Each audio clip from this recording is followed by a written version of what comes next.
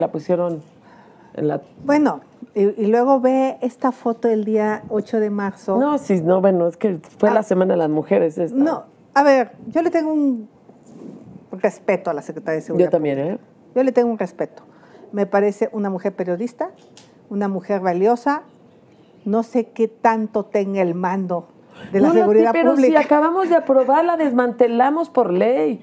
La aprobó Morena. Yo es lo que digo, pero la, la, de estar apapachando porque le quitó todas las facultades, le quitó la Guardia Nacional, se la pasó al ejército, le quitó esas facultades y además la, un hace un tejimaneje con el presupuesto y lo tiene que manejar la guardia de acuerdo a los transitorios. Es increíble. Después de eso, dice, ah, miren, aquí está la Secretaría de Seguridad Pública. Pues qué pena, le quitó todas las facultades, todas las funciones. ¿Pero de le qué quitó te habla? la policía, ¿De, qué, le quitó habla esa foto? No, bueno, pues sí, ahí sí está como... No, el gesto es terrible, ¿no? Sumisión, ¿no? Y yo creo que las mujeres, las mujeres no llegamos al poder para ser sumisas con el presidente de la República. Eso no nos ayuda a las mujeres y yo espero que el presidente deje de, ver a las mujeres como un adorno en su gabinete y les dé espacios de poder para tomar decisiones. Y que no sea hipócrita, la verdad, le quitó la Policía Federal cuando dijeron que iba a ser la Guardia Nacional y la ponen a ella, luego le quita la Guardia Nacional, pero si lo aprobaron en la Cámara, si bien lo sabe, no tiene facultades. Y sus subsecretarios, yo no sé si a los eligió, pero pues hay, ahí hay uno que estará de Guerrero, que si va a Coahuila, que si ahora es candidato y que si ya no es candidato. De verdad, entonces le quita hasta los subsecretarios. Yo creo que es de las secretarías que más han desmantelado. La anterior había otra secretaria en gobernación que también le quitaron todas las todas las posibilidades. Entonces a mí me parece que eso es una absoluta hipocresía y pues me consta porque yo vi cómo pasaron esas leyes que le quitaron facultades a seguridad pública, absolutas, ¿eh?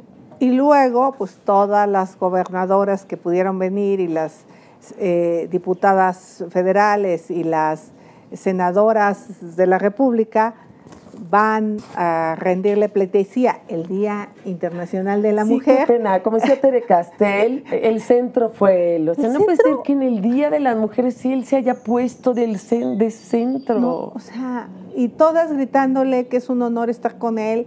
O sea, de verdad, yo siento pena de, de, de, que para eso estemos en el poder y que no afrontemos y seamos capaces de criticarle haber cerrado las escuelas de tiempo completo que están afectando terriblemente a las mujeres, haber cerrado las estancias infantiles, haber quitado los recursos para el FUCAM, eh, para las mujeres que, sufren cáncer, para promusar, haber desaparecido el Fondo de Infraestructura de los pueblos indígenas, que a las que más beneficiaba llevando agua potable, electrificación, caminos, esas a las mujeres. Haber quitado, el, haber quitado el seguro popular, que las que más sufren cuando no hay medicamentos, cuando un niño tiene que ser operado, es a la mujer.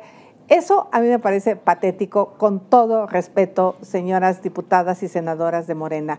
No llegamos al poder y no hay paridad para que vayamos a rendirle pleitesía al presidente. No, y además de los contrapesos elementales, pero la verdad es que en el Día de la Mujer convertirse él en el centro, pues sí no tiene ningún sentido. Ya y poner unas vallas para la marcha de la tarde en la que iba seguramente pues de todo, poner unas marchas realmente patético, patético en términos de símbolos, en términos, en su significado, es decir, en la forma, porque hay fondo porque en el fondo sí hay un absoluto desprecio a las mujeres y a las políticas públicas a favor de las mujeres.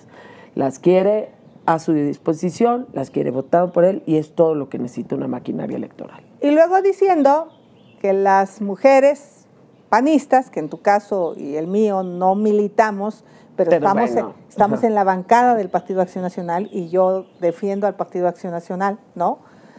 Nos dice que no somos feministas, que nosotras y él se refiere a mí, que no soy feminista. ¿Quién es él? Un no feminista. ¿Quién es él para saber de mi lucha desde que vivía en Tepatepec para juzgarla, contra el patriarcado, para juzgarla a las demás. ¿no? ¿Quién es él? ¿Qué se cree el presidente que tiene la vara de medir qué mujer y qué mujer no es feminista?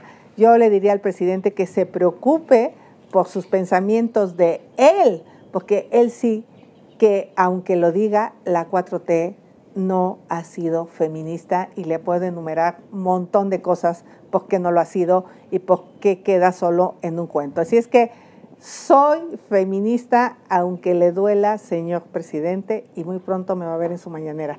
Este, pasemos al otro tema, Margarita. Otro tema, el INE, el INE, que por ahí tenías un tema que traes aquí esta vez conduciéndolo el programa y lo tratamos.